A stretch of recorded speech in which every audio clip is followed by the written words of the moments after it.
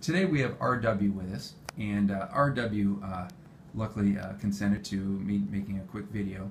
But I was particularly interested in videoing him because uh, he's been out now for about two years after a spinal cord stimulator and peripheral nerve stimulator implant. And um, I wanted him to share his, his thoughts and feelings over the past couple of years. He came back in because he needed an adjustment, a stimulator, and as I explained to him, it's not uncommon uh, to need adjustment as scar tissue forms and there's uh, increased impedance to the, uh, the electrical signal. Uh, we have to turn it up on occasion. But nevertheless, um, uh, this gentleman's a couple years out now from his implant, and I just wanted to see how he's doing and explain his, his situation. Uh, RW, how, how have you done over the past two years with your stimulator? I think it's exactly uh, as it was two years ago.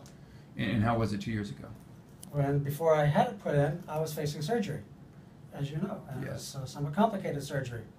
Indeed. And we tried this as an alternative, and it worked out very successful. Now, your pain prior to the implant, 0 to 10, it's hard to think back that long, and I don't have your documents right in front of me, but what would you imagine it was kind of on a daily average? I mean, 0 to 10. I think back then, and my memory serves me correct, it was around eight or nine, Okay. And what is it on average uh, days you're using the stimulator now? Four or five, Okay. So sometimes better, four or five. Wha- Has it helped you uh, do anything uh, more effectively, or, uh, or is it or is it able to do anything? Uh, drive or walk or Oh, yeah. stand, sit? And no question, uh, before we uh, put this into the spinal system, I could not walk in the mall more than two or three minutes.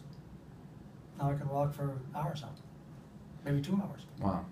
Now, recently, you you made an appointment to come in and see us because things had changed, and it's not uncommon. Mhm. How had they changed? I thought it was a component failure. I thought it was a, the battery charger wasn't charging it right, so Yes. the system wasn't recognizing the programs. Yes.